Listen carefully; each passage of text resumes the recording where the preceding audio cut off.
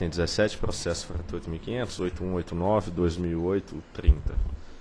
Pedido formulado pela Empresa Brasileira de Transmissão de Energia SA de reconhecimento de datas distintas para a entrada em operação comercial dos empreendimentos que lhe foram outorgados por meio do contrato de concessão de transmissão número 11 de 2008, com o recebimento de receita anual permitida proporcional. Diretor relator, doutor Julião Coelho. Senhores diretores, a EBTR requereu o reconhecimento de datas distintas de entrada em, operação comercial das instalações objeto do contrato de concessão 11 de 2008 e também o correspondente pagamento de RAP proporcional. Compare manifestações do ANS e da SFE, a SCT recomendou o acolhimento do pleito. É, na fundamentação, no item 3 eu trago os precedentes da diretoria.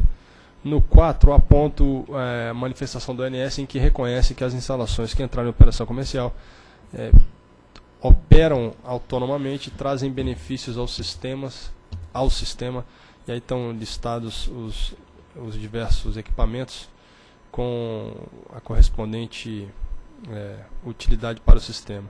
A SFE também corrobora a, a afirmação do ANS de que esses é, equipamentos operam autonomamente e assim também o faz a SCT.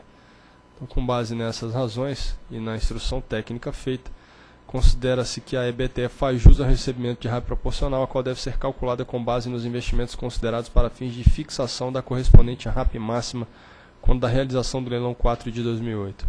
Passo, portanto, ao dispositivo. Disposto, considerando que considera o processo em tela, voto por reconhecer as seguintes datas de entrada em operação comercial das instalações otorgadas à Empresa Brasileira de Transmissão de Energia SA, por meio do contrato de transmissão 11 de 2008. LT 230 kV Bras Norte, circuitos 1 e 2, no dia 20 de dezembro de 2010. LT 230 kV Nova Mutum, Sorriso, Sinop, circuito 2 e reator na subestação, subestação Sorriso, no dia 23 de março de 2011. LT 230 kV Bras Norte, Parecis, circuitos 1 e 2, transformadores, reatores, módulo geral e interligação de barramentos na subestação Parecis, no dia 3 de junho de 2011. Reatores na subestação Bras Norte, referentes à linha ALT 230 kV Bras Norte Juína, circuitos 1 e 2, no dia 8 de abril de 2011. E LT 270 kV Brasnorte Juína, circuitos 1 e 2, transformadores, reatores, módulo geral e interligação de barramentos na subestação Juína no dia 11 de julho de 2011. E determinar a SRT que considere no próximo reajuste anual das RAPs a serem oferidas pelas concessionárias de transmissão as datas de entrada em operação comercial mencionadas no item anterior. Em discussão. Em votação.